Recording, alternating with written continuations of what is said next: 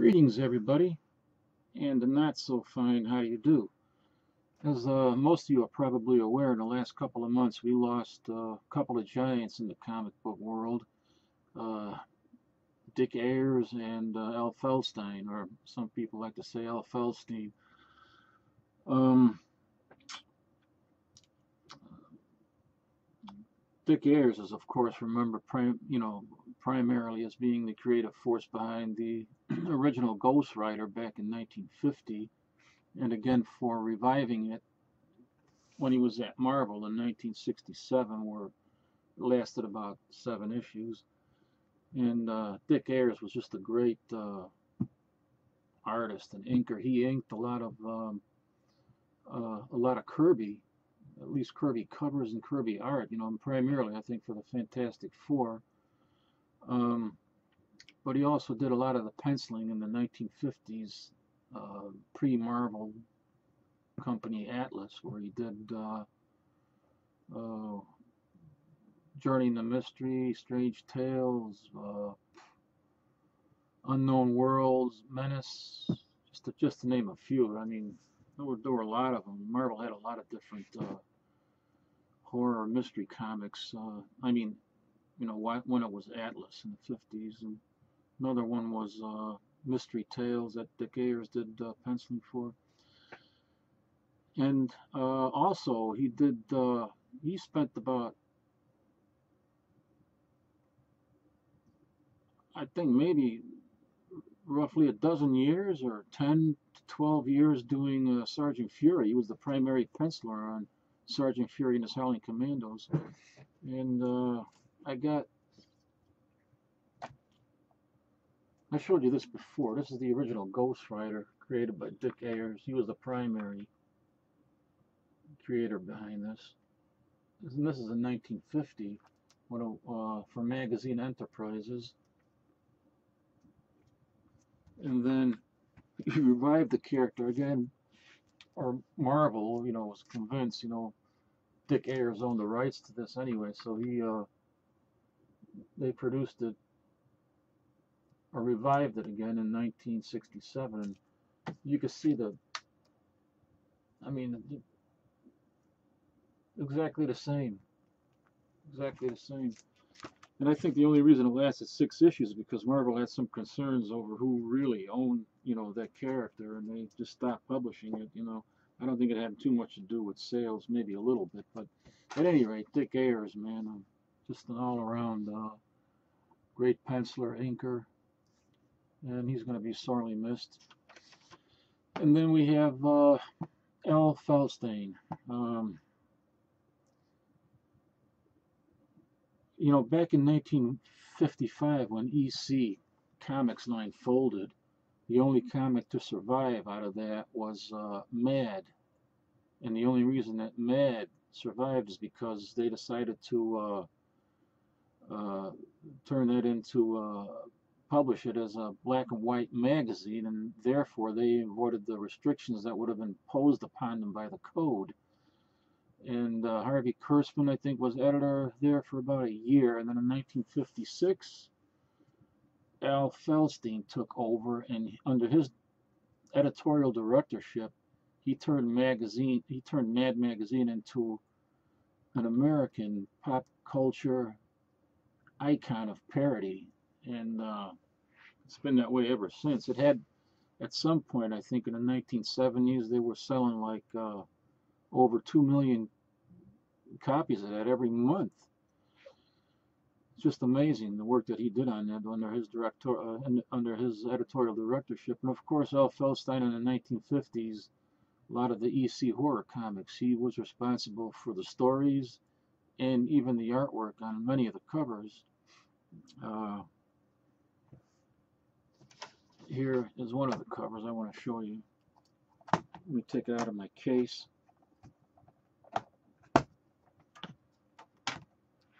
It's not in the greatest shape, but it's signed by Al Feldstein, and this Shock Suspense Stories number 7. And this is just one of the great EC classic covers where uh, you can see the reflection of a guy being struck by lightning in the window His face is melting. That is signed by Al Feldstein.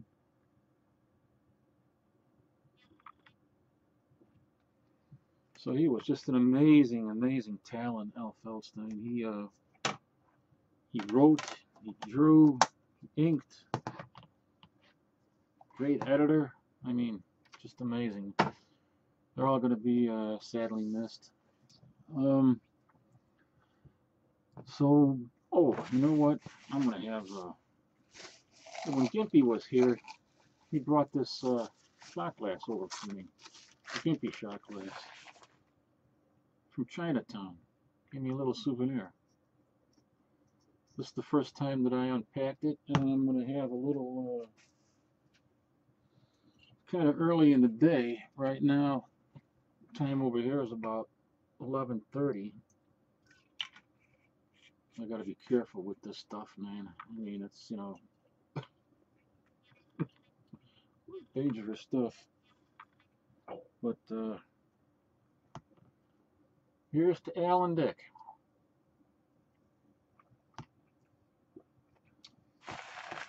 Oh, my condolences to the families and they're going to be saying the condolences to me in a minute if I have another sip of that. And, uh, well, if there is such a thing as a soul, I hope their souls are completely rested at peace. Moving on to a somewhat happier note. wow. Holy smokes, that stuff is powerful. Oh. I feel like the I feel like the human torch. Whoa, I'm gonna be on fire in a minute. On a happier note, I wanted to give a shout out to uh, a newcomer.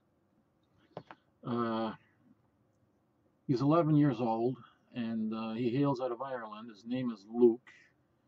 Uh, his handle on YouTube is called Just Luke, and I'll leave a uh, link in the description box for him. And I like to shout out uh, the kids, you know, primary kids between, you know, 8, 9 to 15 years old because they're like the future of uh, of comic book fandom. You know, I mean, there's not as many uh, as, of that demographic coming into comic book collecting as there used to be. I mean, there used to be millions in the 40s and 50s, and then hundreds of thousands in the 60s, and it keeps on getting lower and lower. Most of the primary uh, age group now, I think, is in the 20s and 30s. You know, but uh, where's the future going to be without getting these uh, younger people into the collecting community, you know. So I always try to encourage uh, kids while they're that age to get into comic books. And uh, he did a, uh, uh, uh Luke did a, uh, his first video review of Batman Arkham City, which is a, it, it's a game, and I'm not into games at all, but what interested me about that was the fact that it also contains a statue and it has the uh, Batman the Dark Knight animated uh, original animated film I think from 20 I think it's from 2011 I'm not sure but those things I am very much interested in and it was a nice box set so if I can find that somewhere you know at a reasonable price I'm gonna buy it and that's his fault that I got, I'm going to be spending money now on something that I don't even I don't even play the game, so I'll probably give the game away to somebody if I can find it at a good price. You know, I don't want to. I know the game is probably the most expensive part of it, but uh, we'll see what happens. But at any rate, uh, so I would, uh, what I would like, you know, what I would ask, and I don't really ask a lot of things from people. Here's uh, the deal um, I was in contact with Luke's father because Luke had told me uh, about uh, how his father was going to take him to the Comic Con in New York if they could. Think it's either I think it might be the Big Apple Con or Big Apple Con or the uh, New York Comic Con. I'm not sure which one of them. There's two of them going on there. And uh, if he gets 100 subs by August 1st, his dad's going to take him from Ireland all the way to New York for the Comic Con. And man, that's got to be something awesome for for a kid 11 years old. I never even had the opportunity to go to a convention until I was like, I think 20. Of course, you know, conventions, they were all small conventions at that time, you know, now they just exploded. But uh, that's got to be something awesome. So, uh, to help make that 11 uh, year old kid comic book collector dream come true, uh, I would uh, like for people to visit his channel. And if you like it, you know, give him a subscription, give him a thumbs up, and, you know, help make some 11 year old boy's dream come true, you know. It'd be a great thing to do. That's got to be something truly awesome. And I don't use that word too lightly, awesome. But, uh, man, wow. I wish I could have been, you know, at that age and have some huge major Comic Con going on and be able to go there. Wow. So, uh, yeah, check it out. I'll leave the link in the description box. And uh, that would uh, be very nice if you would uh, go over there and give him a hand, you know, and give him a sub. Um, what else do I have to say? Uh, oh, oh, uh, I was, uh, you know, in order to verify that I was in contact with his father, I, I said, you have your father PM me, so I want to, you know, be sure about all this. And he did. He PM me, and he said it was all up on the level, was, you know, and uh, so it's going to be uh, something pretty awesome for him to experience that uh, his dad take, taking him there, you know, all the way from Ireland to New York. And, um, let's see what else. The last time I just finished, let me get this out of here. I showed you this box here that I had that I brought back from the utility room. That was my mystery box. I got through all, I went through the whole box, you know, I showed it in some videos and rebagged and boarded everything here in this this box. Then when Gimpy came down, Gimpy 204, Todd, we were over at the utility room and we pulled out another small box, which I knew was there, but I just didn't, you know, wasn't, didn't get to it yet, so I figured might as well pull it out while he's there. So that's this. That's this box. And it's looks like another one of those uh, with uh, basically this looks like D has DC in it and uh, looks like basically DC Bronze Age.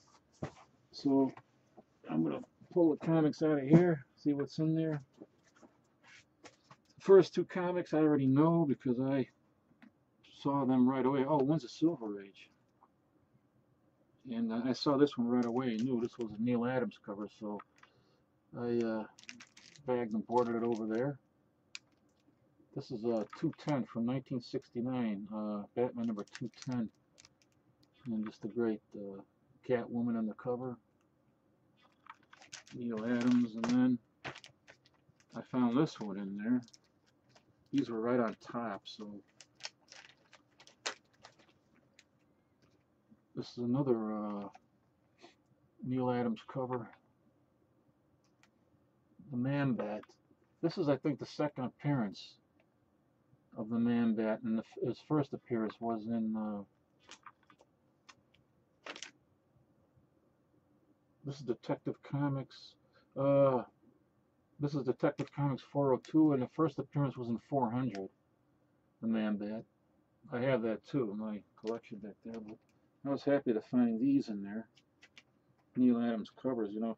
The uh, early uh, Neal Adams Batman and, you know, uh, Detective Comics, Brave and the Bold comics are all, you know, going for pretty high prices, man. It's Unbelievable. Neal Adams covers for Batman stuff. And just a few years ago, it was like nothing. So that's nice. I'm glad to have these. All right. So I'm going to start pulling them out of here. I don't know. Maybe I should put them on. Put them right there. on top of all my other ones that I rebagged and boarded already. So, another, this is probably all Batman stuff in here, I think, what I remember. This box used to be filled to the top when I had all these books in 1995, and I think I sold half of them while I was going through that uh, divorce. I needed the money to buy the house, to buy, uh, pay off lawyers and stuff, so I I can't even remember. I, I can only imagine what I must have sold out of this box. I don't know. But uh, here's Batman 286.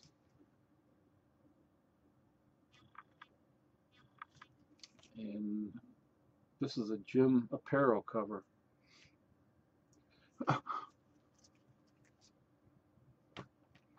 Jim Aparo. When Gimpy was, the reason I'm laughing is because when Gimpy was there, I saw a cover with uh, Jim, uh, uh had J.A. on it, and I was joking around. I got, I was a little, you know, we had a few beers, and I'm joking around. He asked, "Who's that?" And I said, "Jackass, I think." it's Jim Aparo, and he was Jim is another great artist. I mean, look at this cover, man, with the Joker and the roller coaster. Man, that's iconic.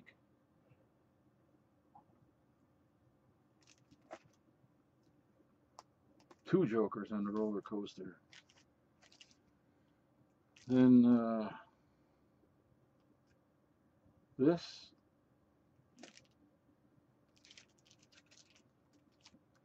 I don't know. This is uh, Batman 267.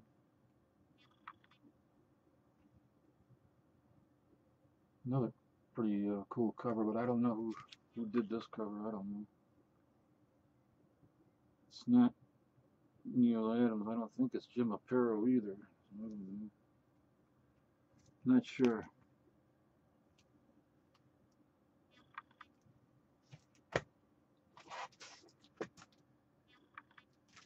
I gotta rebag and board all this stuff too. Wow. Uh, well, here's a Brave and a Bold, number 117.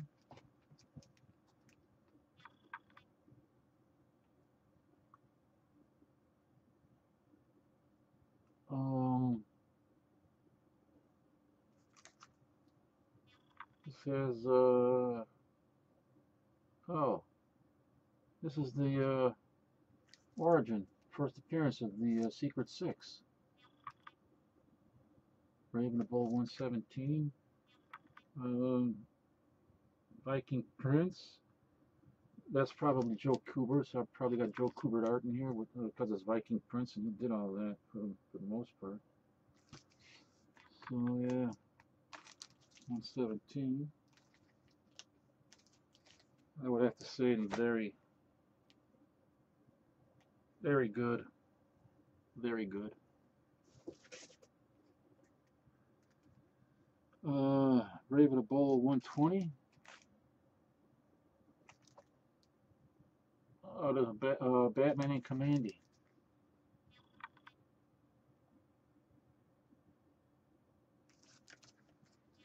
Looks like a 52. Looks like a 52 pager or 68 page uh, giant. Uh, Brave and a Bold 133 with Deadman. I don't know who does the cover. Oh, Jim Aparo, J.A. Okay. He was a great artist. I mean, when you look at that, look at that cover, man. He was just a terrific artist as well. And uh, I think underrated. A lot of these guys were such great artists and so underrated. Brave and a Bold 90 99 Brave and a Bold 99 and this looks like a Neal Adams cover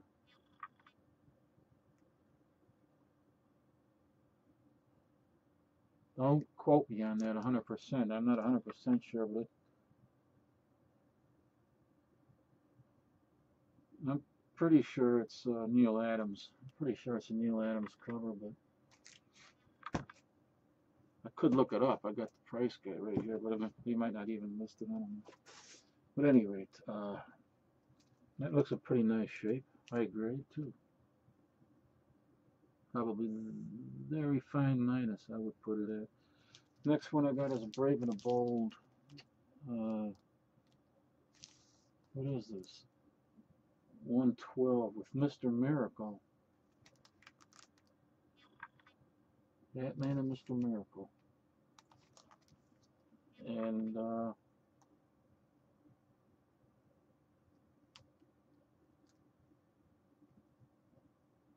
it's another Jim Aparo cover.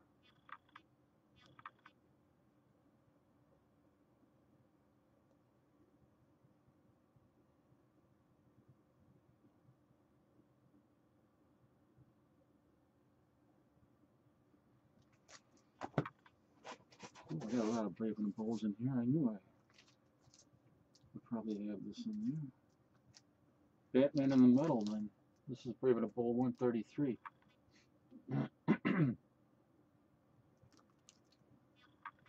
Viking Prince, so that means Joe Kubert, I'll bet. Nice cover. Jim Aparo once again.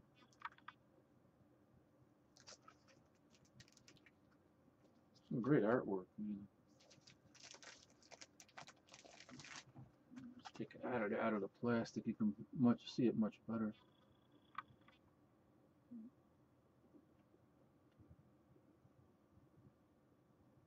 Pretty pretty nice shape. These square bounds are really hard to are really hard to find, you know, in high grade where the where at least the uh, uh, the, the spine is in uh, high grade condition. It's hard to find. I think my camera's sticking or something. Brave and a Bold 114. Batman and Aquaman. These are all from the mid 1970s, pretty sure here. 67, 1970s. This one's probably in good condition. It's got spinal stuff issues with it on the bottom there. What else I got in here? Another Brave and the Bold 132 with uh,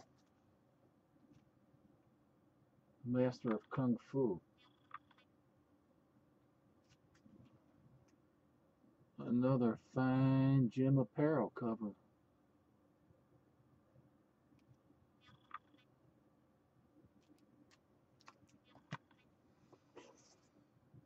Ah, Brave and the Bold 130.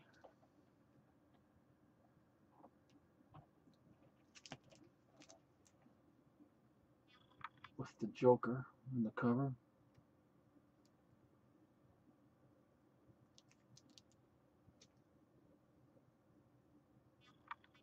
Gotta be rebagged. I don't know who did the cover on here.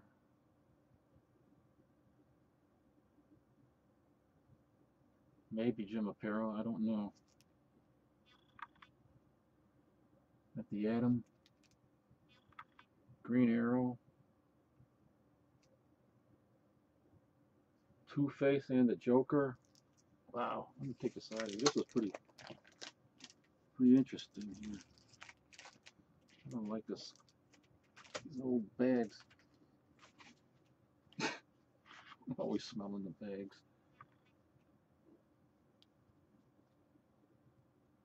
It's got some uh, folds over here, some buttons.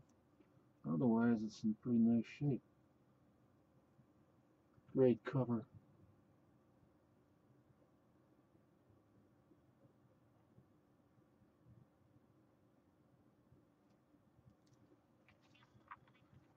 I wonder how long this video's been going. This is uh, Brave and the Bold 200.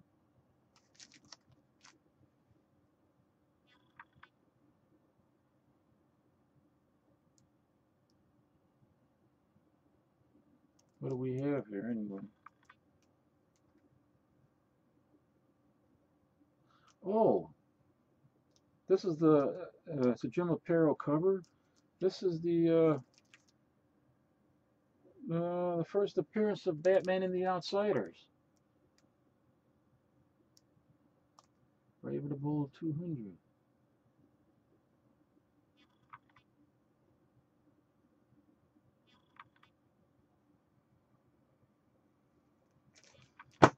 Okay, I'm gonna pull out one more and then uh, I'll put this in there so I don't I can't see what the next book is gonna be. Uh, this is Batman and the Creeper 143.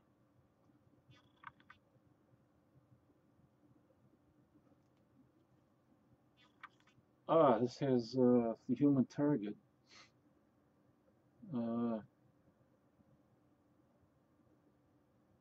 the human target. I think there were a couple of different characters that uh, portrayed the human target. And